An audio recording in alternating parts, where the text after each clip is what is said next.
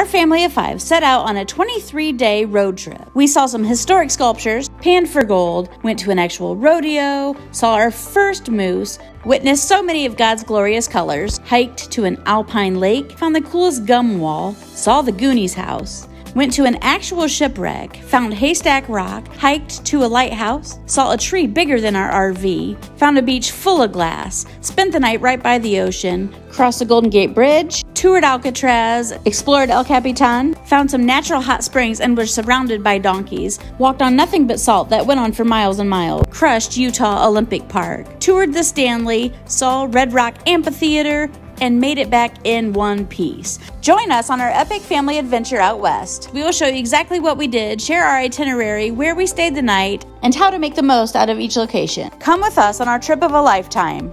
Welcome to VO's Travel. Where to go and what to see. With kids. We started out by flying from Indiana to Denver, Colorado. There we rented an RV and headed north, where we stopped at Wind Cave National Park, Crazy Horse, and Mount Rushmore. Then we headed over to Devil's Tower, Yellowstone, up to Glacier National Park, over to Seattle, down the Oregon coast, saw the redwoods in Northern California, and then down to San Francisco. Then over to Yosemite, and down to Spencer Hot Springs in the middle of the Nevada desert. Next was Salt Lake and Park City, and finally back to Denver, Colorado, where we flew back home. We rented our RV through a host from Outdoorsy named Shelly. She was the best. If you'd like her contact info, we will be glad to share it. I do look forward to making some more RV videos, so if you have any questions about renting an RV, please comment them below and I'll be sure to answer them. We left Denver, Colorado, picked up some groceries, and headed 169 miles to Cabela's in Sidney, Nebraska, where they have their own campground. It was the perfect place to stay for our first night because we could pick up any supplies that we did not already have. There's also a Walmart in town for any other things that you may need. We paid $40 for the night and it was a first come first served lot, so get there before 4 p.m. The next morning we headed to South Dakota where we stopped at Wind Cave National Park first. We got there about noon and saw our first bison. It was so cool.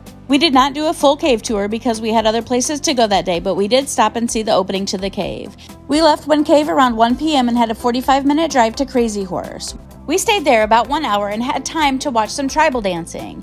Just one side note, I did make individual videos about each of these places that we stopped along the whole road trip. I will place those in the cards above, so make sure you look for those links if you're interested more about any location.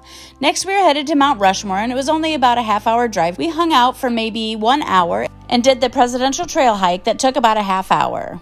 Next, we drove the 15 minutes to Keystone, South Dakota, where we had dinner and then went to Big Thunder Gold Mine where we did a tour. That was really great and I highly recommend it. We also panned for gold and that was lots of fun.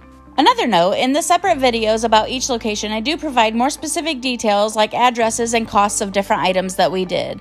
So once again, make sure you check the cards for the specific videos about each exact location that we did if you're interested in more details. Around 7.30 p.m., we drove 15 minutes back to Mount Rushmore for their lighting ceremony that they held at 9 o'clock every single night. That was well worth it and we are so glad that we went back. That night, we stayed at Kemp's Kamp. They had all the hookups and it was $48 for the night. The next morning, we drove 100 miles to Devil's Tower in Wyoming. We arrived around 10:30 a.m. and that gave us time to do the hike around Devil's Tower, which is called the Devil's Tower Trail. We also had time to stop in the gift shop to get stamps for our national passport book. If you're not aware of those passport books, I did a video that explains it. After stopping at this special location for a picnic, we left Devil's Tower at noon and headed to Cody, Wyoming. It was a 300 mile drive and took us about five hours. We did get to Cody just in time for their street shootout, and you should too. The street shootout show lasted for a half hour, and then we headed over to the Cody Nite Rodeo that started at 8 p.m. Gates opened at 7 though, so get there early. After the rodeo, we headed to Buffalo Bill State Park where we stayed the night in their North Fork campground. Look at that scenery. It was $48 for the night and we had electric hookup. There was a sewage dump on site. The next morning, we drove 90 miles to the northeast entrance of Yellowstone National Park. It took a little over two hours though because there were a lot of switchbacks, but the scenery was breathtaking. That drive had me a little on edge, but it was worth it. We got to Yellowstone around noon and entered through the northeast entrance, like I said earlier. And right when we got in, we saw our first moose. Look, you see it? We chose going in that entrance because it took us through Lamar Valley, where we also saw a bear. We stopped for a quick picnic and then on to Mammoth Hot Springs. Next, we walked the Porcelain Basin and then over to the Grand Canyon of the Yellowstone. Really pretty. After that, it was time to head to our campsite where we stayed at Canyon Campground in Yellowstone. It was $38 with no hookups. Just make sure you book this campsite six months in advance. The next morning, we got up and walked through Barrel Spring on our way to Old Faithful. Just a reminder, in my Yellowstone video, I do go into very specific details about our itinerary at Yellowstone. I also tell you the best place to sit for Old Faithful. You don't want to miss it. Next was the Black Sand Pool, where we could actually hear and feel the earth thump. After that was the Grand Prismatic Spring, which was Very, very cool. and then we left Yellowstone around 3 p.m. and headed to our campsite. We had a two hour drive to get there. We stayed at Moose Trail Cardwell RV in Cardwell, Montana. It was $54 for the night and had all the hookups. I highly suggest placing a pickup order at either Target or Walmart. There is both in Helena, Montana, which we will be driving through the next day. You want to make sure you stock up on groceries before you get to Washington because the prices are higher there and they have a lot of recycling fees that we normally don't see. The next morning, we had a six hour drive to Many Glacier in Glacier National Park. We did stop for a quick lunch on the way and got to Many Glacier about 4.30 p.m. Many Glacier is on the east side of the park and is the Swiss Alps of the United States. You can't miss Where it. are we? Glacier National Park, Switzerland. Switzerland. We stopped at the ranger station for a stamp and our passports and then did a quick hike to Fishercap Lake. Make sure you check out my video on Glacier on where to see a moose.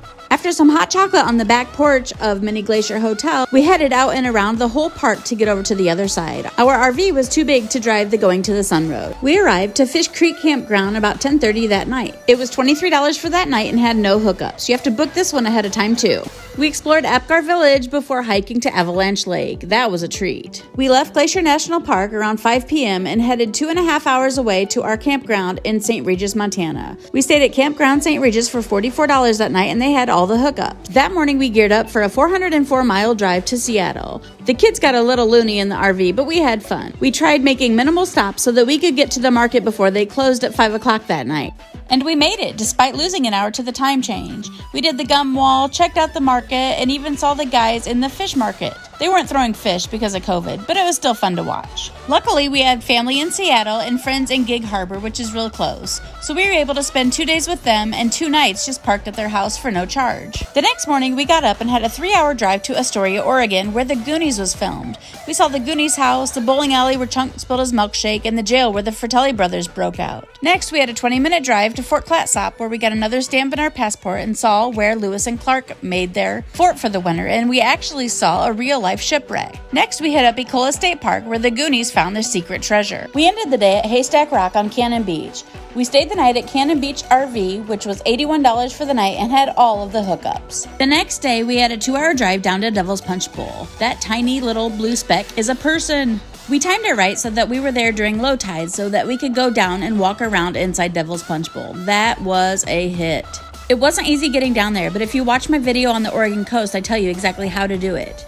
We stopped for lunch in Depoe Bay and then went across the street to the whale watching center. Evidently, it's more fun to fight with your brother than to actually watch for whales. After that, we hit up the town of Newport. They had some really funky, cool shops, and we really had a blast there. We also got to watch a lady filleting fish and found some really cute seals.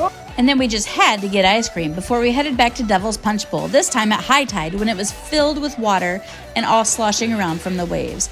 Make sure you check your tide charts, and I do tell you all about that in my Oregon Coast video too. That night, we stayed at Seal Rock's RV, which is right across the street from Seal Rock Beach, and we saw seals on a rock. It was $68 for the night and had all of the hookups. The next morning, we drove 45 minutes down the coast to get to. Heceta Head Lighthouse, How was the walk up here? about a mile. And look at the lighthouse. There it is. We finished that day shopping in Florence, Oregon, and then went to Coos Bay where we stayed the night at Sunset Bay State Park. We had all the hookups and it was $41 for the night.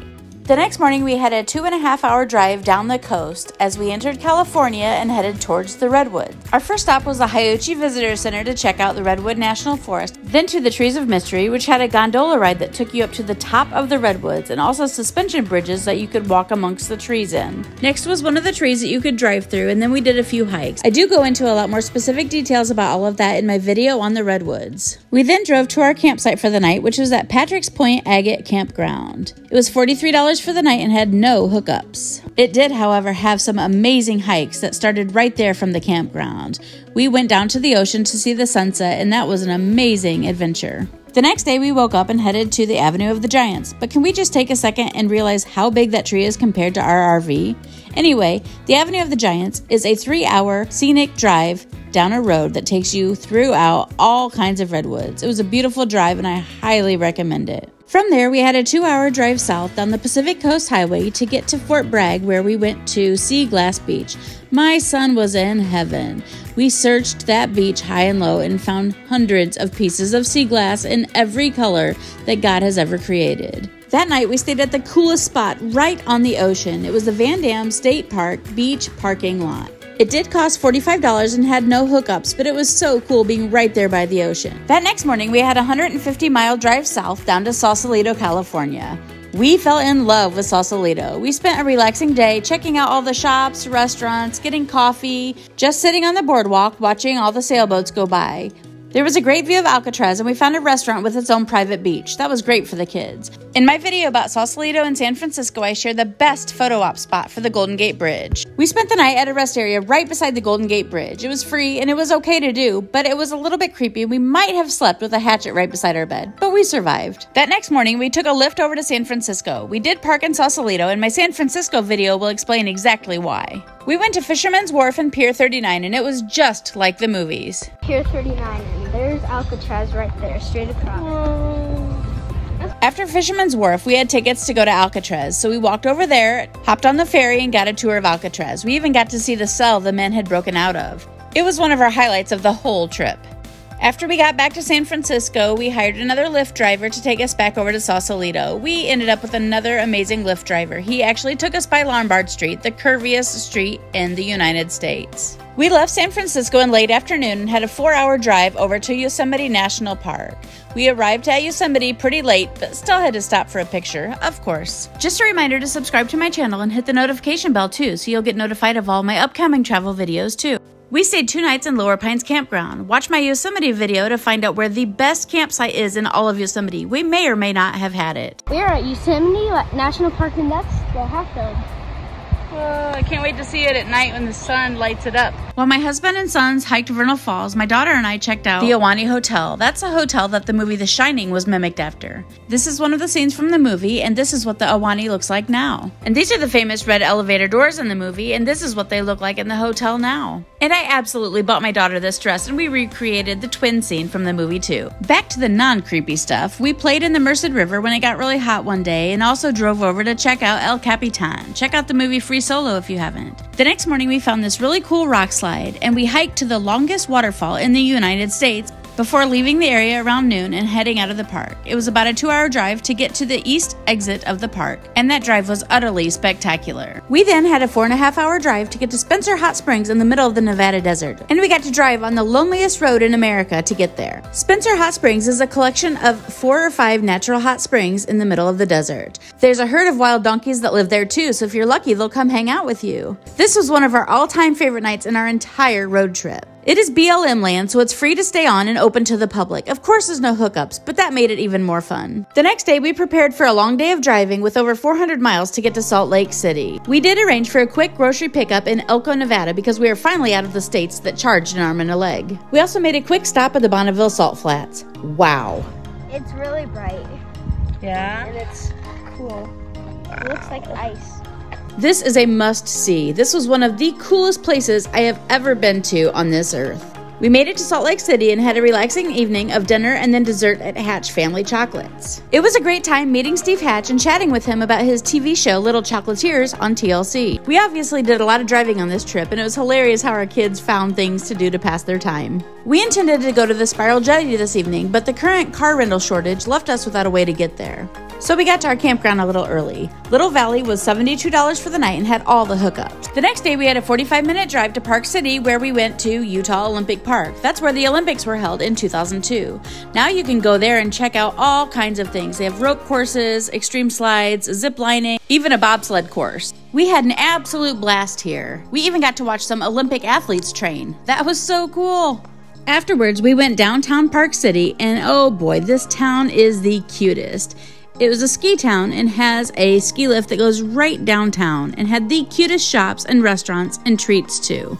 I highly recommend Park City From there, we had a three hour drive to Jensen, Utah, where we had our campground for the evening. It was $36 for the night and had all of the hookups. The next day, we had 350 miles to go, but part of that was driving through Rocky Mountain National Park, so it wasn't all that bad. We saw another moose and all kinds of other beautiful scenery as we climbed over 12,000 feet in elevation. As we left Rocky Mountain National Park on the other side, we came upon the Stanley. This is a hotel that Stephen King stayed at when he became inspired to write The Shining, and is also where Dumb and Dumber was filmed. No way. There you go. We may have had just a little fun recreating some of those scenes.